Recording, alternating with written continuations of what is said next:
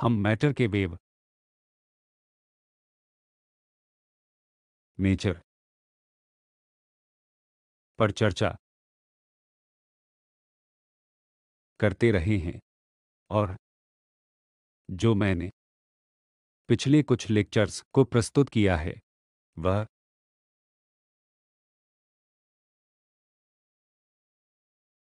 यह है कि मोमेंटम पी वाले। एक पार्टिकल में वेवलेंथ लैम्ब्डा होता है, जो इसके साथ? ट्रेवल करने वाली वेव्स से संबंधित है। इसका मतलब है कि लैम्बडा वेव जैसा कि एच ओवर पी है। हमने यह नहीं बताया कि ये किस प्रकार की वेव्स हैं।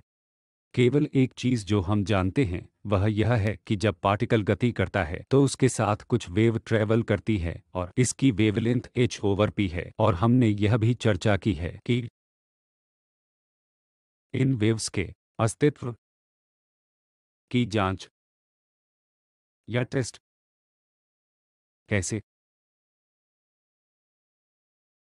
किया? जाता है। और? जिन तीन एक्सपेरिमेंट की मैंने चर्चा की। वे थे? क्रिस्टल से पार्टिकल्स का डिफ्रैक्शन जो क्रिस्टल से एक्स रेज के डिफ्रैक्शन के समान है। दोनों ब्रैग रिलेशनशिप को संतुष्ट करते हैं।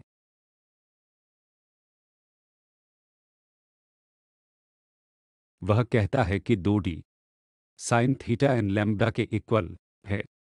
जहाँ एक्स किरणों के लिए यह एक्स किरणों की वेवलेंथ होगी और इलेक्ट्रॉनों या क्रिस्टल से डिफ्रैक्टिव पार्टिकल्स के लिए यह उन पार्टिकल्स का लैम्ब्डा होगा, जो पार्टिकल्स के एच ओवर पी है। मैंने आपके सामने इलेक्ट्रॉनों के इंटरफेरेंस करने की संभावना। और एक डबल स्लिट। एक्सपेरिमेंट।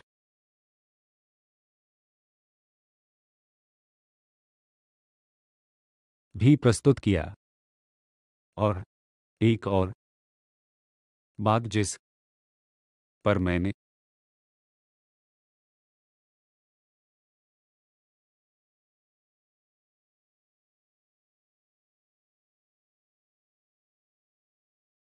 चर्चा की वह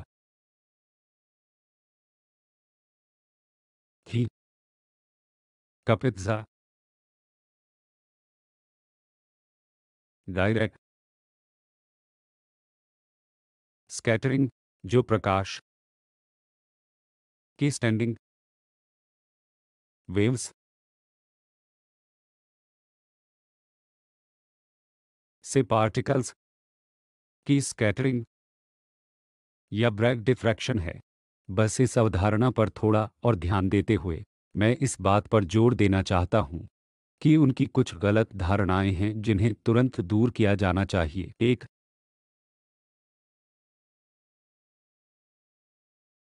गलत धारणा, और वह यह है कि चूँकि पार्टिकल्स के मोशन से संबंधित। वेव्स होती हैं। पार्टिकल गतिमान होना चाहिए। जैसे कि एक वेव है। इसका मतलब है कि कभी कभी यह गलत धारणा होती है। कि एक पार्टिकल स्वयं मोशन कर रहा है, जो वेव लाइट है। एक वेवलेंथ के साथ, जिसे लेमडा एच बटा पी द्वारा दिया गया है। यह गलत योजना बनाई गई है। पार्टिकल से संबंधित। यह वेव बिज़नेस क्या कहता है कि यदि कोई पार्टिकल है, जो मोमेंटम पी के साथ गति कर रहा है पार्टिकल के साथ एक वेव संबंधित होती है। और हम अभी तक नहीं जानते हैं कि यह वेव क्या है जब तक हम इंटरप्रेट शुरू करने में इक्वेशन नहीं लिखते हैं। लेकिन एक्सपेरिमेंटल तौर पर यह स्थापित किया गया है कि यहाँ एक वेव संबंधित है, जिसमें एक वेवलेंथ लैम्बडा है, जो कि एच ओवर पी है। तो यह बहुत स्पष्ट होना चाहिए। एक पार्टिकल गतिमान है और उसके साथ एक वेव संबंधित है। नंबर दो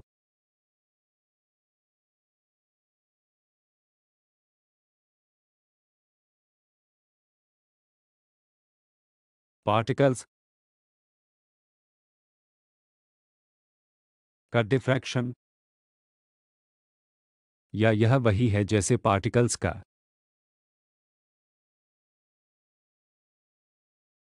इंटरफेरेंस वही संख्या में पार्टिकल्स के लिए सांख्यिकीय है। मेरे कहने का मतलब यह है कि मान लीजिए कि मैं एक डबल स्लिट एक्सपेरिमेंट कर रहा हूँ। इस साइड से इलेक्ट्रॉन आ रहे हैं और अंत में मुझे एक इंटरफेरेंस पैटर्न दिखाई देता है। गलत धारणा यह है कि जब मैंने इन इलेक्ट्रॉनों को गुजरने दिया तो एक इलेक्ट्रॉन आता है। और दूसरा इलेक्ट्रॉन इस इलेक्ट्रॉन के साथ इंटरफेयर करता है और फिर वे इंटरफेयर करते हैं और कहीं चले जाते हैं जो कि एक गलत धारणा है। क्या हो रहा है कि प्रत्येक इलेक्ट्रॉन जो आता है, विभाजित हो जाता है, वह डिवाइड नहीं होता है, वेव विभाजित हो जाती है, और यह प्रत्येक इलेक्ट्रॉन से संबंधित वेव है, जो एक इंटरफेरेंस पैटर्न बनाती है। बस एक इलेक्ट्रॉन यहाँ या यहाँ या यहाँ या यहाँ जा सकता है। इसलिए हम वास्तव में इंटरफेरेंस पैटर्न नहीं देखते हैं, लेकिन यह बन रहा है। तो क्या होता है, जब धीरे धीरे यदि आप एक टाइम में एक इलेक्ट्रॉन को आने देते हैं और बहुत सारा डेटा कलेक्ट करते हैं। तब भी जब हम बहुत सारा डेटा कलेक्ट करने के बाद एक समय में केवल एक इलेक्ट्रॉन को स्लिट्स से गुजरने देते हैं। आप इस तरह से उभरता हुआ एक पैटर्न देखते हैं और इसका मतलब यह है कि प्रत्येक इलेक्ट्रॉन अपने आप में इंटरफेयर कर रहा है। अधिक सटीक रूप से प्रत्येक इलेक्ट्रॉन से संबंधित एक वेव दोनों स्लिट्स से गुजरती है, और जब यह double Young's double slit experiment में प्रकाश वेव इंटरफेरेंस की तरह निकलती है, ये वेव्स भी इंटरफेयर करती हैं, और फिर तदनुसार पार्टिकल कहीं चला जाता है। पार्टिकल डिवाइड नहीं हो सकता है, इसलिए यह कभी न सोचें कि केवल जब बड़ी संख्या में पार्टिकल्स आते हैं तो वे एक दूसरे के साथ इंटरफेयर करते हैं, और फिर इंटरफेरेंस पैटर्न में रूप लेते हैं। नहीं, यह प्रत्येक पार्टिकल एकल पार्टिकल से संबंधित वेव है, जो स्वयं के साथ इंटरफेयर करती है और क्रिस्टल डिफ्रैक्शन एक्सपेरिमेंट में भी एक समान चीज़ बनाती है। प्रत्येक इलेक्ट्रॉन से संबंधित वेव प्रत्येक पार्टिकल अपने आप में इंटरफेयर करती है। और फिर जब आप बहुत अधिक डेटा कलेक्ट करते हैं तो आप पैटर्न को पार्टिकल को कहीं जाते हुए देखते हैं। इसलिए मुझे आशा है कि मैंने इन गलत धारणाओं को दूर कर दिया है, जो काफ़ी प्रचलित हैं। अब ऐसा करने के बाद मैं कपित्जा डायरेक्ट प्रभाव को भी कुछ टाइम देना चाहता हूँ, जिसमें हमने जो कहा, वह यह है कि अगर मैं लाइट की एक स्टेंडिंग वेव लेता हूँ और अब इस साइड से इलेक्ट्रॉन या कुछ पार्टिकल्स, पर्टिकुलर एंगल थीटा पर आने दें। आप देखते हैं कि बड़ी संख्या में इलेक्ट्रॉन समान मोमेंटम पी के साथ एक ही एंगल पर डिफ्रैक्ट करते हैं। यह कैसे होता है? तो यहाँ क्या होता है? वेव्स पर हमारी चर्चा से याद किया जाता है कि स्टैंडिंग वेव इस तरह से ट्रैवल करने वाली एक वेव है। और एक वेव समान आयाम के साथ दूसरी ओर ट्रैवल करती है। तो जब इलेक्ट्रॉन अंदर आता है तो क्या होता है? यह नीचे आने वाली वेव से एक फोटोन को अवशोषित कर सकता है, और इसलिए यह निश्चित दिशा में एक किक प्राप्त करता है। और फिर, दूसरी तरफ़ जाने वाली वेव उस फोटोन को बाहर निकालने के लिए उत्तेजित हो सकती है। तो इसे एक और किक मिलती है। आइए हम इसे और अधिक व्यवस्थित रूप से करते हैं। इसलिए जब यह मोमेंटम पी आ रहा है, और मान लीजिए कि इलेक्ट्रॉन इस ओर से न्यू फ्रीक्वेंसी के एक फोटोन को अवशोषित करता है। इसे फोटोन की मोमेंटम की किक मिलती है, जिसे एच ओवर लैम्बडा लाइट के रूप में भी लिखा जा सकता है, जो कि एच न्यू ओवर सी है। तो फिर चूँकि यह एक स्टैंडिंग वेव है तो इस ओर भी एक लाइट आ रही है। यह इस इलेक्ट्रॉन को विपरीत दिशा में जाने वाले फोटोन को बाहर निकालने के लिए उत्तेजित कर सकता है, और यह फोटोन में एक और किक जोड़ता है, जो फिर से एच न्यू बटा सी है। और इसलिए अंततः फोटोन मोमेंटम इसे इस तरह से चलाती है तो यह थीटा एंगल पर रहा था। और पी को समान रखते हुए इस कोण थीटा पर बाहर निकल गया। डेल्टा पी कितना है? डेल्टा पी यह बड़ा एरो है। इसलिए डेल्टा पी फोटोन की दिशा में है, जो थीटा के वो पी इलेक्ट्रॉन साइन के इक्वल है, जिसे आप इस आरेख से देख सकते हैं जो मैंने बनाया है। और यह h over lambda light, times दो के इक्वल होना चाहिए, क्योंकि दो फोटॉन शामिल हैं, जो दो हैं। मैं इसे दो, times h, cross over lambda over वो पाई, लिख सकता हूँ, जो कि दो एच क्रॉस के लाइट के समान है। आप कई अलग अलग तरीकों से लिख सकते हैं, लेकिन यह आपको यह भी बताता है कि एच क्रॉस के लाइट का मोमेंटम है और इसलिए इलेक्ट्रॉन का साइन थीटा टाइम्स पी मैं इसे दो times h over lambda electron लिख सकता हूँ, जो कि वो times h over lambda light के समान है और वह आपको तुरंत देता है कि lambda light, times, sine, theta lambda electron के इक्वल होता है, जो ब्रैग्स कंडीशन के समान है जैसा कि पिछले व्याख्यान में दो प्लेन्स के बीच इस अंतर के साथ लिया गया था। एक प्लेन डी है जो लैम्ब्डा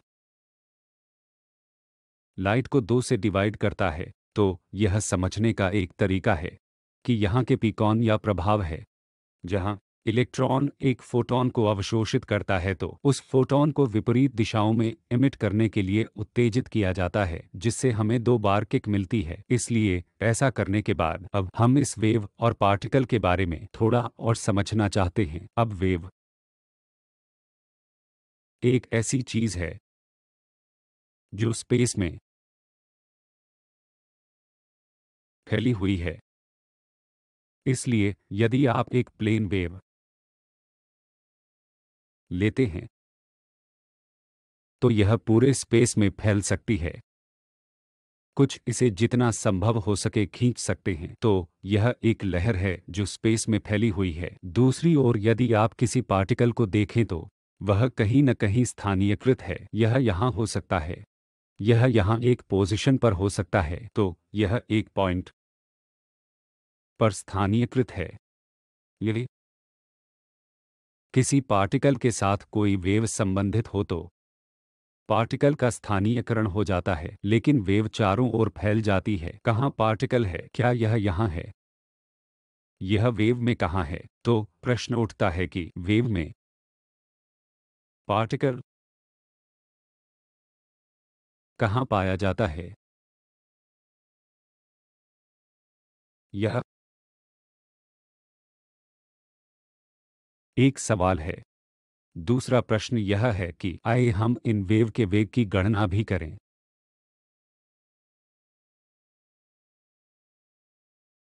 अगर मैं नॉन रिलेटिविस्टिक टर्म में गणना करता हूँ।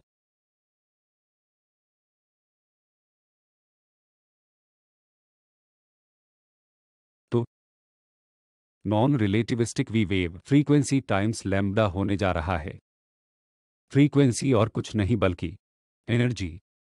Over h times lambda है, जो एच ओवर पी है।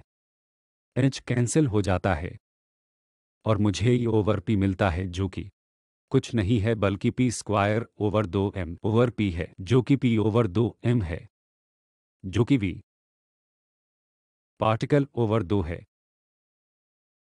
दूसरी ओर यदि मैं एक रिलेटिविस्टिक गणना करता हूँ तो मुझे ए रिलेटिविस्टिक गणना करने दें।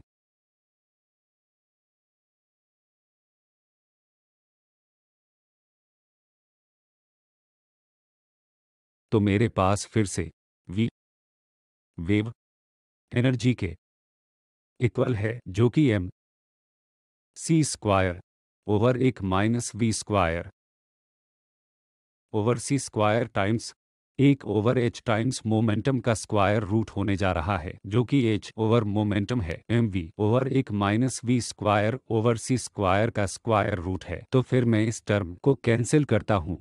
मैं एम कैंसिल करता हूँ, मैं एच कैंसिल करता हूँ। और मुझे सी स्क्वायर ओवर पार्टिकल मिलता है। दोनों ही मामलों में मैं देखता हूँ कि वेव का वेग वी पार्टिकल के समान नहीं है। तो ऐसा क्या हो रहा है? दो प्रश्न जो पार्टिकल से संबंधित। एक वेव के इस विचार का कारण है। नंबर एक। वह जगह है। जहाँ वेव में पार्टिकल स्थित है। और प्रश्न संख्या। दो यह है कि पार्टिकल का वेग वेव चित्र। में। कैसे। प्रवेश करता है और इन दोनों का उत्तर किसी चीज़ द्वारा दिया जाता है, जिसे वेव्स का समूह। कहते हैं, यही। मैं आगे चर्चा करने जा रहा हूँ। इसलिए जब हम कहते हैं कि हर जगह वेव है और मुझे नहीं पता कि पार्टिकल कहाँ स्थित है, जो यहाँ कहीं होना चाहिए था। इसे डॉट द्वारा कहाँ दिखाया जाता है? तो इस डॉट के माध्यम से मेरा कहना है कि पार्टिकल वास्तव में जब चल रहा है तो वह इनफाइनाइट ट्रेन ऑफ़ वेव द्वारा निरूपित नहीं किया जाता है, बल्कि इस वेव को पार्टिकल पोजिशन के आसपास स्थानीयकृत किया जा सकता है। तो पार्टिकल कही है। यहाँ एक बड़ा आयाम है तो इसकी एक प्रोफ़ाइल है और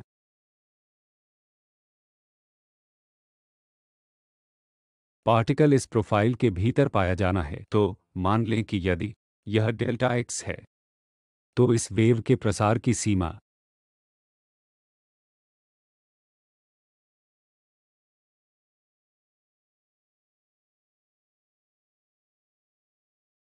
इस प्रोफ़ाइल के भीतर पार्टिकल पाई जाती है।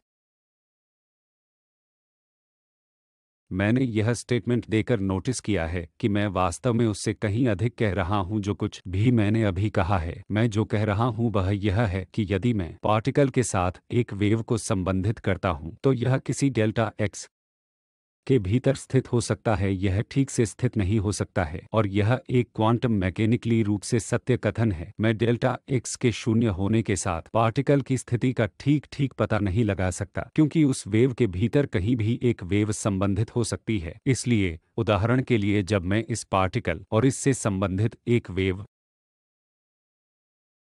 को एक प्रोफ़ाइल के साथ लेता हूँ, जो मैंने पहले बनाई थी।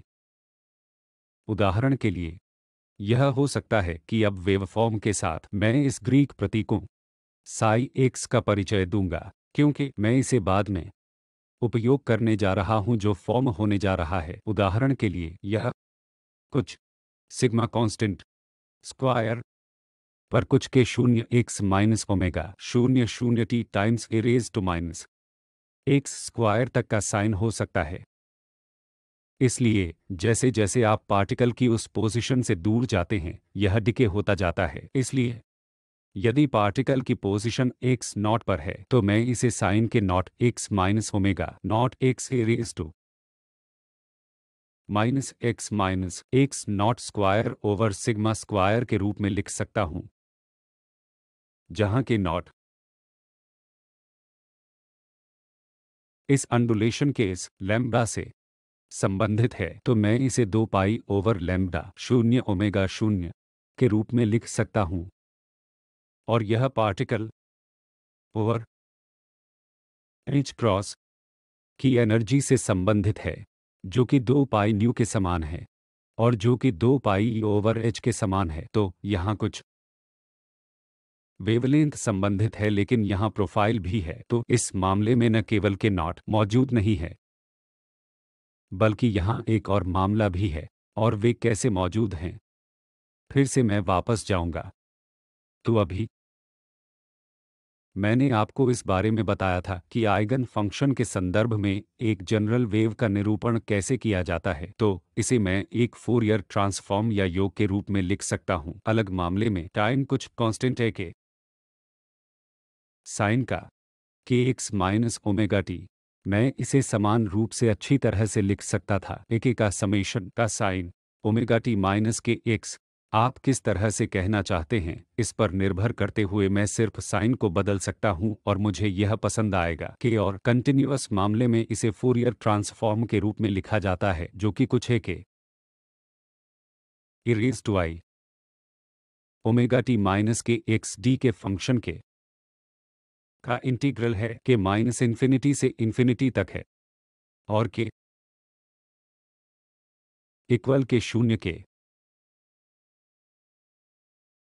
लिए ए के अधिकतम है, क्योंकि आप देखते हैं कि यह एक प्रमुख वेव फॉर्म है और वह वहाँ से डिके हो जाता है। तो उदाहरण के लिए, यह इसकी फॉर्म हो सकती है। अगर मैं ए के वर्सेस के प्लॉट के लिए जाता हूँ तो यह फॉर्म हो सकती है इसकी। मान लीजिए कि यह के नॉट है, यह वहाँ सबसे बड़ा है, और फिर डिके हो जाता है। तो यहाँ कुछ वेव्स मिक्स हो रही हैं। यह है, डेल्टा के, कुछ डेल्टा के भीतर, के किससे संबंधित है? जी ब्रोगली की हाइपोथेसिस द्वारा, के, दो पाई ओवर लैम्बडा, के अलावा कुछ नहीं है, जो कुछ और नहीं बल्कि दो pi over h, times p है। यह देता है। पी ओवर एच क्रॉस जिसका अर्थ है कि पी इक्वल है एच क्रॉस के। तो मोमेंटम का पार्टिकल के से एच क्रॉस के के रूप में संबंधित है। और जब मैं यह कहता हूँ, उनका योग प्रसार डेल्टा के, इसका मतलब है कि पार्टिकल का मोमेंटम निर्दिष्ट नहीं है, बहुत सटीक। इसका एक बड़ा हिस्सा के शून्य है, लेकिन इसमें एक प्रसार भी है, इसलिए विशेष रूप से पोजीशन बिल्कुल निर्दिष्ट नहीं है, यहाँ तक कि मोमेंटम में एक प्रसार है।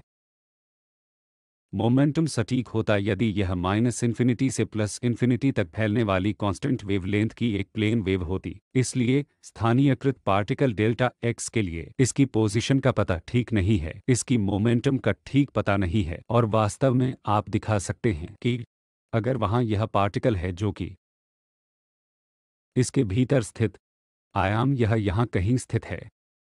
प्रसार डेल्टा एक्स है। और अनुरूप फोरियर ट्रांसफॉर्म का प्रसार के शून्य के आसपास है। यह ए के है। और बेज डेल्टा के हैं और फिर डेल्टा के। डेल्टा एक्स एक का ऑर्डर है। और डेल्टा के और कुछ नहीं बल्कि p over h cross delta x है। और delta p delta x h cross का ऑर्डर है। यह एक और परिणाम जोड़ता है वेव नेचर वाले पार्टिकल का।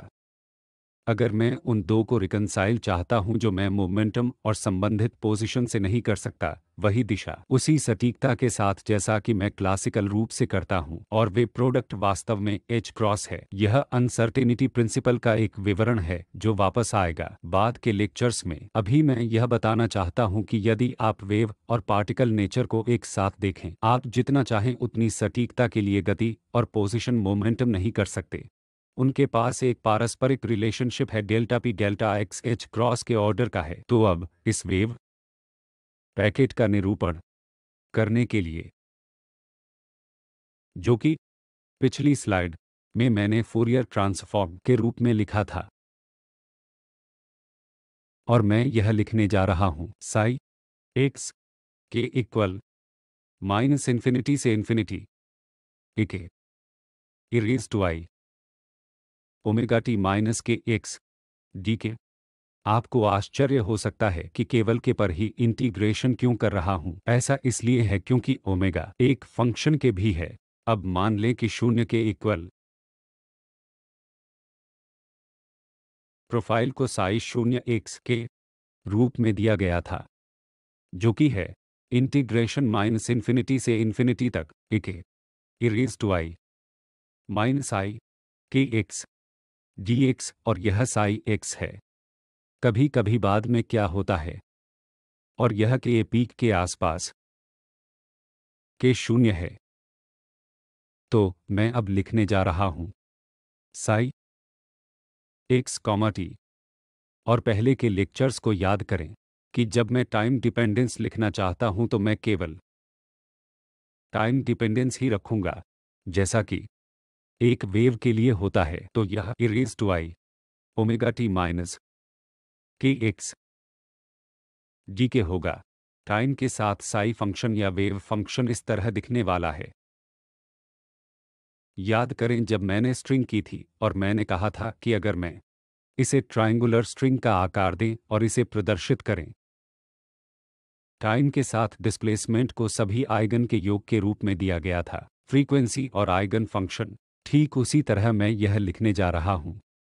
और अब, चूँकि के इक्वल, के शून्य, के आसपास के सबसे बड़ा है, हम ओमेगा के को के शून्य, k omega plus d omega d k को के शून्य डेल्टा के पर विस्तारित करेंगे। तो अब मैं लिखने जा रहा हूँ। साई। X t. जो कि इक्वल है। इंटीग्रेशन। के। Erase to I. ओमेगा शून्य। जो कि टी पर ओमेगा के अनुरूप है। जो कि के शून्य माइनस के शून्य। एक्स टाइम्स के अनुरूप है। यह e raise to i. D omega over d k पर के शून्य। Delta k minus delta k x d k minus infinity infinity है। चूँकि करली ब्रैकेट्स में दिखाया गया भाग्य पर निर्भर नहीं करता है, मैं इसे बाहर निकाल सकता हूँ और इसे e raise to i omega शून्य टी माइनस के शून्य। एक्स इंटीग्रेशन माइनस इन्फिनिटी से इन्फिनिटी के रूप में लिख सकता हूँ। एके लिखने के बजाय मैं इसे डेल्टा के के एक फ़ंक्शन के रूप में लिख सकता हूँ, जहाँ के शून्य के मामले से डेल्टा मामला अलग है। E raise to i d omega over d k पर के शून्य माइनस एक सेटी यहाँ डेल्टा के रूप में और डेल्टा के ओवर इंटीग्रेशन और यह क्या है? याद करें कि के e raise to minus i k x. D के। यह फ़ंक्शन था जो कि इस वेव की प्रोफ़ाइल दे रहा था। तो यह वही है जो मैंने आपको पहले दिखाया था। वो यहाँ साई शून्य एक्स था। इसलिए मैं वही प्रोफ़ाइल प्राप्त करने जा रहा हूँ। और यह साई शून्य होने जा रहा है। इसके अलावा अब मैं करने जा रहा हूँ। D omega over d k पर के शून्य टी माइनस एक्स तो क्या होता है? यह प्रोफ़ाइल जो टाइम टी में थी। यह डिस्टेंस डी ओमेगा बटा डी के द्वारा के शून्य टाइम्स टी पर शिफ्ट हो गया है और इसलिए अब इसे के शून्य टी माइनस एक्स पर d k over d omega k psi शून्य के रूप में दिया जाता है। यदि यह इतना डी ओमेगा बटा डी के शून्य टी द्वारा शिफ्ट हो गया है, इसका मतलब है कि यह के शून्य पर वेग वी इक्वल ओमेगा बटा डी के साथ आगे गति कर गया है। तो यहाँ यह पार्टिकल था जो इस प्रोफ़ाइल ऑफ़ वेव द्वारा दिया जा रहा है। और टाइम टी में यह फेलो डिस्टेंस डी ओमेगा बटा डी के द्वारा गति करता है के शून्य टी पर कैलकुलेट किया गया और यह उसी आकार में गति करता है, जिस आकार में पार्टिकल यहाँ पहुँच गया है। और इसलिए इसका मतलब है कि जिस वेग से वह गति कर गया है वह के शून्य पर डी ओमेगा वटा के है और इसे ग्रुप वेलोसिटी के रूप में जाना जाता है वीजी ग्रुप वेलोसिटी है क्योंकि वेव का समूह जो गति कर गया है। और यह समूह वेलोसिटी समान होनी चाहिए। पार्टिकल के वेग के रूप में। और चलो इसे जांचें तो ए पी स्क्वायर ओवर दो एम के रूप में दिया है, जिसे अब तक आप h cross square over k square over दो एम से परिचित हो चुके हैं। तो ओमेगा, जो ई ओवर एच क्रॉस समान है दो पाई के E over h h cross है। के स्क्वायर ओवर दो एम है, और इसलिए डी ओमेगा ओवर डी के के शून्य होने वाला है। H cross k over m k शून्य पर, जो है एच क्रॉस के शून्य ओवर एम जो पी शून्य के समान है ओवर एम जो पार्टिकल वेलोसिटी के समान है। इसलिए, हम कहते हैं कि पार्टिकल वेलोसिटी एक पार्टिकल वेग समूह वेलोसिटी के समान है। इसलिए यह निष्कर्ष निकालने के लिए कि जब मैं एक वेव को एक पार्टिकल के साथ जोड़ता हूँ तो पार्टिकल का वर्णन किया जाता है, जिसे मैं एक वेव पैकेट कहता हूँ। यह एक वेव पैकेट है। और पार्टिकल का वेग, समूह, वेलोसिटी के समान है। अगले व्याख्यान में हम इस वेव के लिए वेव इक्वेशन विकसित करेंगे और श्रोडिंगर इक्वेशन का उपयोग करके समस्याओं को हल करना शुरू करें।